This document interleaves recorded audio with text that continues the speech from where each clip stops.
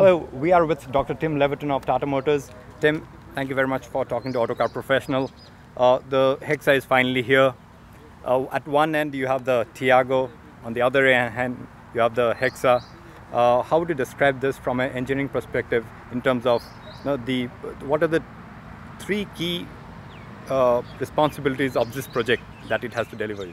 Well, I think first of all, it's a, a very much our flagship project now, our flagship product.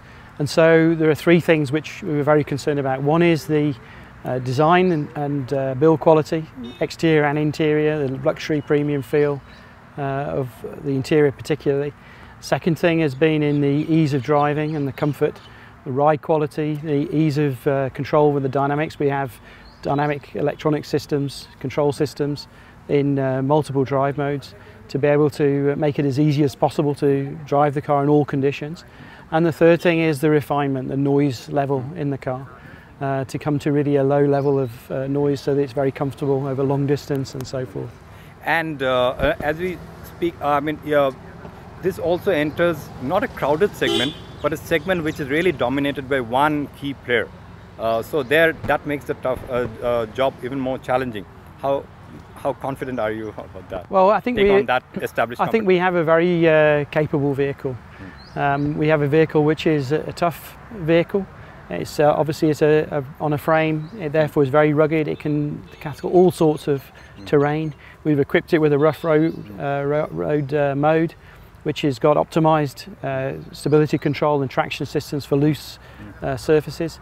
We've given it excellent performance, 400 newton meters uh, of torque, which is really at the top of the the segment, a new segment setting level. That makes it very drivable. There's a good low end torque.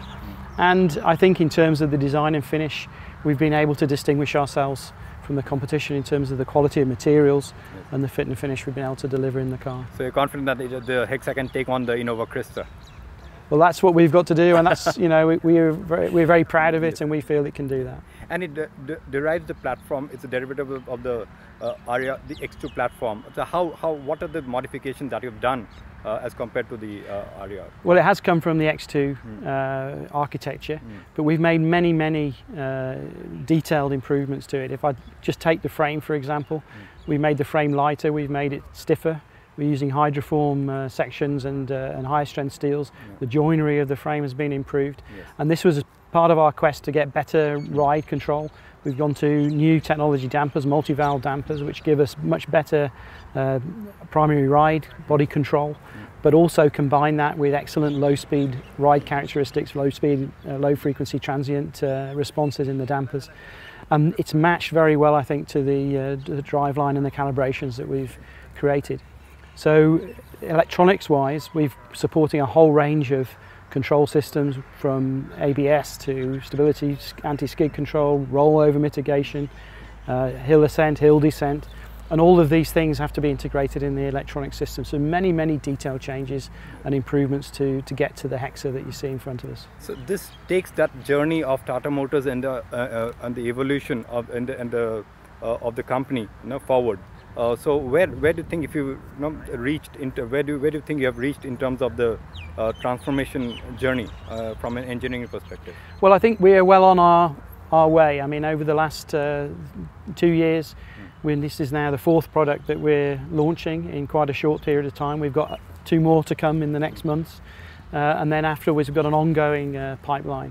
I think we're starting to see reception from the customers. But Certainly, if we look at Tiago, mm. that show that we're hitting the spot in terms of the character of the cars, the design, um, the desirability of the styling, mm. as well as the dynamics and usability of the cars. Build quality is good, and I think this is the foundation upon which we're building. We've got to carry on. We've got to continue to improve year by year, but we're, we're well on the way, and I think we're, we're uh, starting to prove ourselves uh, fully capable of meeting that goal. And in terms of, if you look at the uh, the changes which are taking place in the global automotive industry, uh, things are moving at quite a rapid pace, mm. maybe faster than one expected. So, say uh, uh, a kind of a trend like autonomous driving, for example, mm. electrification, mm. yeah. connectivity, three key trends. How does it figure in in your scheme of things? Are, are you looking at, for example, autonomous driving tech in your roadmap? We are, I think, uh, we are running autonomous uh, driving prototypes. So in fact, I've got two running uh, this year. um, in UK, and I've, we've got also one running in uh, Pune. So we're working on those technologies. But in all honesty, um, these technologies are more interesting for us in the short term in terms of the sensor technologies, the system technologies, which allow us to give, yeah, like allow us to give uh, direct assistance to the driver. These are more affordable Mm. um, implementations, but they give a very relevant safety and ease of uh, security of driving uh, to the customers here in India. In a way, Hexa is well onto that path with the sort of uh, uh, stability systems, dynamics control systems that we have. These are also assist systems, and uh, we see that extending year by year. Um, when will we have driverless cars in India? I don't think for quite a few years, but uh, but we will have more and more uh, assistance at low speeds, Yes. parking, for example, vision con- uh, assisted, for example, for low level light or light, Yes. night vision, and relevant tr- traffic warnings like crossing alert and other things, forward collision Yes. warnings, which don't get in the way of the driving experience but really protect the customer. Or automatic braking, for example. Yeah, exactly. These yeah. type of adaptive cruise and these types of things, which are all becoming uh, lower cost Hmm. and can be applied by us in a, a way which is interesting for our, our applications here in India. And these prototypes are Tata cars. You are testing them on. Yeah, of course. Yeah. Yeah, of course. So, uh, so this is what we uh, see as part of our technology roadmap. Mm. Um, we have a, a, a portfolio of technology projects which uh, are the developments of the new systems that we need, and they're timed for introduction into the market over the next years.